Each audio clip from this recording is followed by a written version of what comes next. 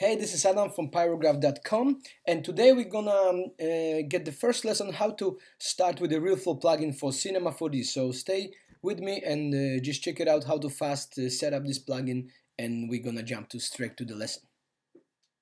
Let's begin. So now we're in the Cinema 4D and when, when you install the RealFlow plugin you should get this over here, the tab but before we, we, we're gonna start with it, we're just gonna go to the preference here, uh, RealFlow tag. We got like a, not tag, but the just the menu here, and use the uh, set up the, the the cache file because many times we're gonna just cache the file because it's a lots of calculations. So make sure you're gonna cache. Uh, a file set up uh, properly. So we go to documents. This is my case, of course. I go to documents, then uh, RealFlow Cinema 4D plugin. Here cache and open. So this is the my uh, setup of the of the cache files. When we set up this we go directly to RealFlow and we get uh, to all of this like uh, step by step emitters daemons deformers fluid measure. But uh, first what we can do we we can add a scene. And that's gonna give us uh, the tree setup that we can fill up each of this uh, tree with some stuff. So basically, if you want to start like this, you can then, you have to then go to, uh, for example, emitter, another emitter, and when we get emitter, then it's directly linked fluids, and in emitter is this uh, fluid linked to it. So if you want to just get faster, you just go uh, RealFlow, emitter, and circle emitter. And that's the same setup what you can do uh, just to go through the scene and all this stuff. And uh, here is the tree, sen, measures, emitters, which is will link uh, the circle emitter, fluids, and the emitter is the fluids, and daemons, that's uh, the formers modifiers for the for the forces, but we're gonna jump to this later. First, let's uh, let's start with the scene. Okay, just the scene tab, and we got just basic emitter, and we got uh, here five, and here one uh, uh, tab. So basically, let's go fast. What is mean what? Basic, it's of course on and off visible in the editor you can we can do this with this traffic lights okay? Coordination system it's all stretch uh, scale rotation in and out so self-explanatory. Then we got um, solver which is gonna jump in a minute. Then we got the cache. We can use uh, RealFlow here or if you use uh, Houdini or Maya with this plugin. Cache folder is the same folder which we've been set up before. On Mac on Windows I don't have it so I don't get this this folder. And here we can uh, just uh, turn on use the cache which has got this info here. Uh, don't use the mesh which is gonna be normal simulation.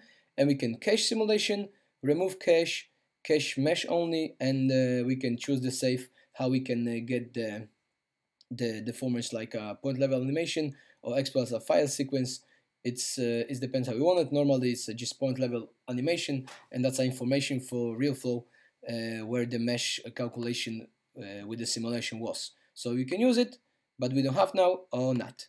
Then we got the display, which is uh, basically two ticks. You can see the info of the particles over here and the amount.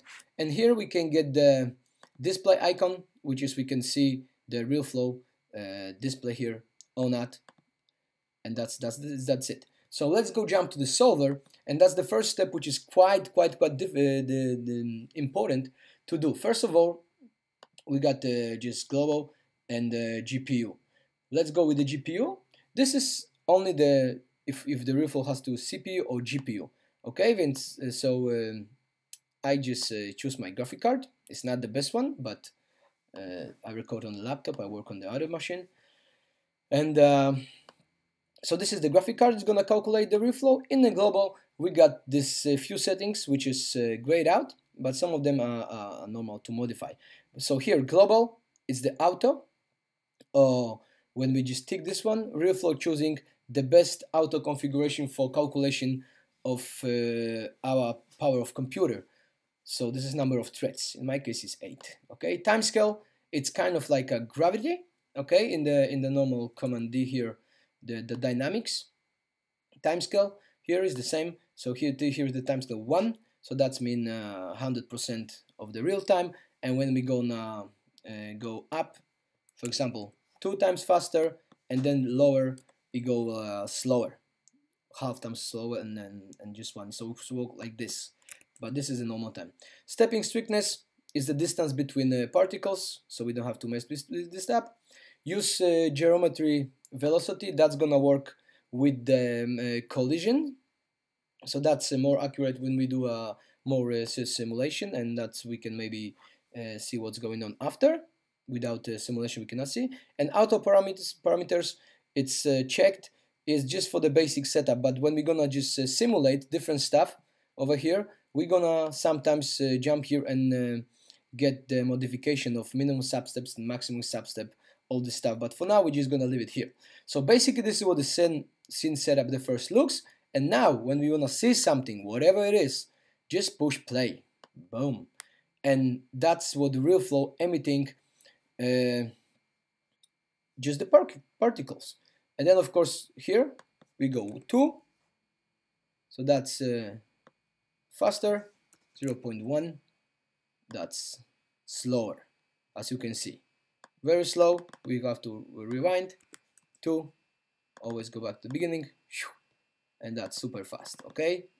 So this is what you see how the time scale work but we're gonna just uh, control this through emitter speed.